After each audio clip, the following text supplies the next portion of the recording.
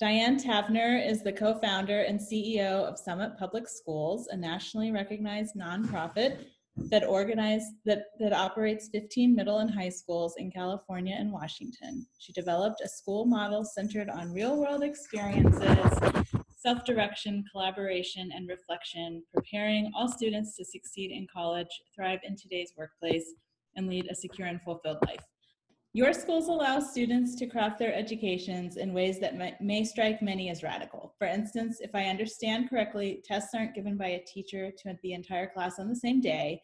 Rather, students choose when to test themselves, and tests are generally completed online.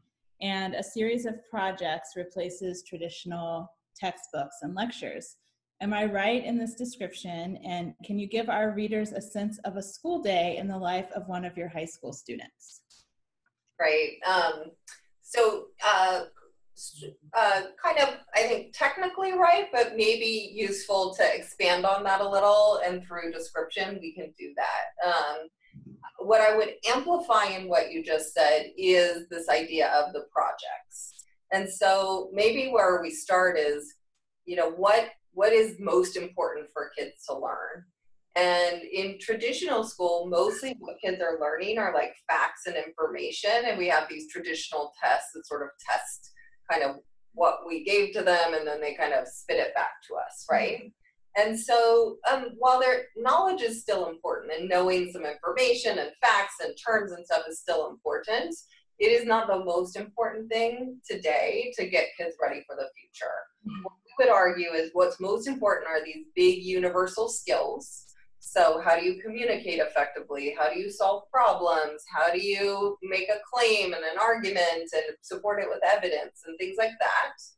And the habits of success. So, your you know ability to persevere through challenge and your ability to manage you know relationships and things like that and so the core of the learning experience really are these projects mm-hmm. and so when you think about a student's day and their week the time they're in class with their teacher and their peers, they're really working on these projects. And the projects start with like a big essential question and an enduring understanding that we want kids to have. Like, for example, why do societies engage in revolution? You know, that would be like a big question. And mm-hmm. understanding that kind of across history and in multiple contexts is a really useful big concept for people to get. Now, you can't really understand and explore that if you don't have some knowledge about specific revolutions that have occurred in our world and you know what kind of happened there. Um, and there's many ways then to really get at answering that question which ultimately we would do in a performance task. And so that question for example could be something as traditional as you ultimately would write like a timed essay around that or it could be um, a, a presentation that you shared, or it could be something really creative, like, you know, you actually translate your understanding of revolution into, you know, writing a futuristic novel around revolution that incorporated all your understanding of why people came to revolution. So there's like tons of different authentic ways that you could express your deep understanding of that. And so that's what the projects are about. They're helping kids really come to a deep understanding of a big question, big idea, and then perform a task that is real world and authentic that shows that learning. And then those tests that are online that you talked about that are on demand are what knowledge would they need in order to come to that? So, like we just said, you know, they would probably need to understand the big revolutions that have happened throughout history and maybe sort of the common causes or circumstances or conditions that would exist for revolution and or what's the technical definition of revolution? And so those tests you're right kids take on demand online to to really ba- develop that base knowledge and have it so they're applying it in the projects. But we don't waste any classroom time on that. We let kids learn how to learn and then we give them a playlist that they're really used to in our world kids are really used to having playlists they pick the, the ways that work for them to learn and then they take the assessment online that's graded that way. Teachers aren't spending their time on that, and kids have to develop a level of mastery, otherwise, they don't pass it. So if they don't pass it, they got to go back and study more and come back to it. Um, that happens in what we call self directed time. And there's some time built into the day, but that's basically replaces homework. So when you think about kids in our schools, they don't have like, they don't go to class every day and have a planner where their teacher tells them, here's your assignment for tonight they actually are thinking about their projects and making a plan of what knowledge do I need to show and have in order to apply to that, apply to my project, and then I go do that in my self-directed time, and they really control that schedule. Um, so I don't know if that's helpful, but that's kind of the starter. We sort of flip things on the its head of where they're really spending their time. That's great. Um,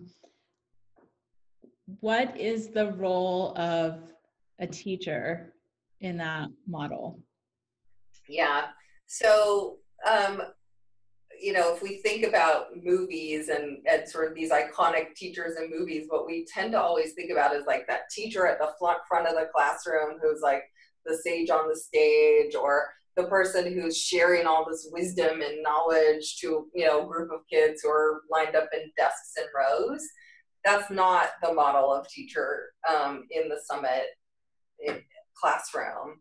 Um, what a teacher's doing is a few different things. One, they're curating a really good experience. So they're taking these projects and they're making sure that the project is like available to the kids and that it's personalized to them so they know what different kids goals are and they know what different skills kids need to work on and they use the data so that they're helping kids like set themselves up and navigate through the process number one Number two, they are giving a ton of feedback to the students as they go along. And so rather than waiting till the very end, like the essay, and just grading it, there's going to be, it'll be broken down into checkpoints, and kids will be doing pieces or parts of these big skills along the way, and the teacher's giving feedback along the way because that's the best way to grow that skill. The teacher's also helping the kids start to understand and look for what they need to be doing in their skills and then helping facilitate them giving feedback to each other in group work and, and things like that. Um, and the teacher is also intervening. So if they notice that a student is missing some knowledge or skills, they're going to intervene there and they're going to help, you know, bolster those skills for a smaller group of kids who, who need that.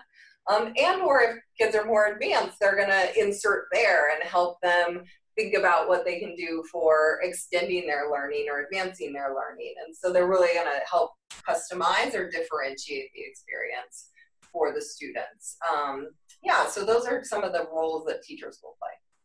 So, how did you come up with this model after your years working in traditional public schools? Yeah, um, well, there's um, a few things. One, um, we really went back and looked at what we believed the purpose of education was and you know what we actually value as we started as a community. And you know i happen to live in the silicon valley um, and so there was a real mindset here of like we're not preparing kids back then for the 21st century. And you know we are a much more global world a much more connected world. Um, we um, it's there's far less sort of rote type work. Things are starting to get automated and things like that. So what's needed are these big skills and these big habits. And so we looked at our values and our beliefs around the purpose of education which was to get kids ready for that world and then therefore college also. And then we looked at the learning science and said, you know, what do we know about the best ways that human beings learn and develop? And a lecture is not the way that most human beings learn and develop, and certainly not the skills we're talking about. So it is hands on practice, real world, feedback. You know, those are the ways we know from the science that people learn. And so we took those values and our purpose and our, you know, where we wanted kids to end up at the end of 12th grade. And then we designed a, from scratch, like, okay, well, what would school look like if we, you know, knowing all of this? And then we spent many years just testing and iterating. So we started with that design and we put it into place, and then we would collect feedback and data and we would iterate on it. And we just sort of, you know, tinkered our way towards the model that we have today, which we continuously improve. Um, you know, and there are moments where there's sort of these big step changes in the model where we learn something pretty profound, but otherwise it's this constant like improvement that we're doing. I think so many parents worry that if we back off, our kids will do nothing but eat candy and play video games 24 7. But your school seems to illustrate that teens can thrive with the freedom to chart their own course. So, one of the examples in the book was about a group of kids who taught themselves what they needed to know to take an a- the AP chemistry exam. What have you learned about trusting teens and their abilities to create their own lives? Yeah, um, so much. Um, and there's a lot wrapped up into that question. So let me take it in two parts like teens and then parents. So, teens, um, I think as a general rule, are capable of so much more than we give them credit for. Um, and, um, you know, to me, uh, most people can name one teen, at least one teen that they've run into that they think is super impressive, right? And they're like, oh my gosh, that teenager is not like a teenager. They're so thoughtful, they're so purposeful, they're, you know, whatever.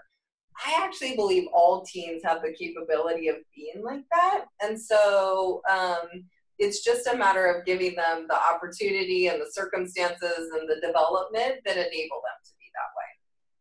So those are my beliefs about teenagers. Parents, um, there's a lot of fear as parents. And a lot of our choices and decisions as parents are rooted in fear. And, um, you know, we've gone back and sort of traced the evolution of parenting, and there are markedly different expectations of parents today than there were even 20 years ago or 30 years ago. And um, I think those expectations on us drive a lot of our choices and decisions as parents. And I think that as parents, we are we feel and I think we are judged based on what our kids end up doing and becoming. And so our own identities are wrapped up in our kids' success, if you will. Um, and so it's interesting, oftentimes parents will look at our school and they'll say, oh, that's great for kids who know how to make decisions and, you know, are organized and all of that. And I think the misunderstanding there and what we say is actually you know, no one's naturally born with those skills. They are skills that you can develop and learn, but you have to do that with practice, with opportunity, with feedback. And so, what Summit does is help build and develop those skills. And so, um, when parents say, well, it wouldn't work for my child because they need a super structured environment because they don't have any of those, our question is always, well, when are they going to get them? Are you going to follow them to college and into their job and into their marriage, you know? And so, we're like, now's the time to learn these skills, and this is the environment where we can actually teach them and practice them and develop them um, into those abilities. But it it requires us as parents to let go a little bit and to um, you know somehow figure out how to control our fear that they're gonna like fail or not be successful or just fall down so this is a little bit different direction. It can be very frustrating for parents and kids who feel like their schools don't see them or their potential. What you said about believing that we could, that all of our teens could be that person we're so impressed with was really hit that for me. Our school system, for example, places kids on a math track based on one assessment in the fifth grade. What can individual teens and parents do to become empowered or combat these limiting beliefs and structures? Yeah. Can't all go to your school. oh, No, um, it's really hard. And it's one of the reasons that I wrote the book because all kids can't go to our schools. And so we're like, what can we actually do? And so, um, you know, I'm going to give two answers. There's one of what can I do as a parent with my child at home? And then there's one, what can I do as a parent as part of a large number of parents who feel really constrained by our existing system? And I think there's activities we can do in both places. So, for me and my child, I think that the most important thing that I need to do is is um, get clear about what I value most and what we what we hear from parents is that what they care about is their kids grow up to have a good life a life that they're doing meaningful and purposeful work and that they have financial security and that they have good relationships and a community and that they're happy quite frankly and um, the the pathway to that good life has three key parts. One, I as a person need to understand what I offer the world. What are my skills? You know, what are my capabilities? What what do I have to offer? And obviously, I want to build those offerings because that opens more doors. Mm-hmm. Two, I need to understand what I care about and what's meaningful to me. And then I need to take what I offer and what I care about, and I need to find where in the world is that a good fit or a good match. Mm-hmm. and as parents, that's what we have to focus on as we launch our kids into adulthood is the good match or the good fit. So we got to help our kids and we have to understand who they are, what they care about, what they have to offer. It's more than just math and reading scores because mm-hmm. we know that our kids are these amazing human beings on lots of fronts that sometimes don't get recognized. And then we have to look at the good fit, not the brand name. And sometimes what parents get really caught up in is the brand name, like a brand name college or a, you know, oftentimes it has a brand name because it has a big football team or, you know, whatever, as opposed to what's actually the good fit for my child's skills and what they bring and what they're passionate about. and so if I would say one thing as a parent, like focus on that, the fit, and mm-hmm. not the brand name. And then understanding your child and helping them understand themselves. And then the second thing is we as parents need to advocate for a school system that is not simply narrowly focused on math and reading, basically, literally, and stack ranking kids and pitting them against each other and saying, oh, whoever's successful is just who's the fastest and at these two very narrow, you know, skills, as opposed to why don't we have a school system that's looking to see what every child is good at and knows that there's a spot and a place for them and is trying to surface that and find a good fit for them as opposed to just like creaming off the top and you know mm-hmm. they go on so one of the things you said when i heard you speak was that when you realized kids don't want to be saved but want to have the power to save themselves that really changed the way you educated. Does this apply to how you parent as well? And can you tell us about that? Absolutely. Um, yeah, um, my son is a senior in high school this year, and um, I think that um, you know we're we're actually in a really amazing, good place now today. But as I think about some of our journey, it was incredibly scary and stressful, and there were many moments where um, you know, I either as a mom wasn't paying attention to, to him and what he was saying and what he was asking for, or um, was guided by my fear and sort of trying to compensate or, or save him. And um, I really had to take the step back often and say, oh, I'm doing it for him or I'm trying to do it for him. And no wonder he's kind of bristling at that and or giving up at that. And there's multiple moments in time when that happens. Um, or happened. Um, you know, I think one of the great examples from the book was actually my husband, who um, had always kind of helped my son with math. And then he got into Summit and was, you know, doing the type of learning we talked about earlier.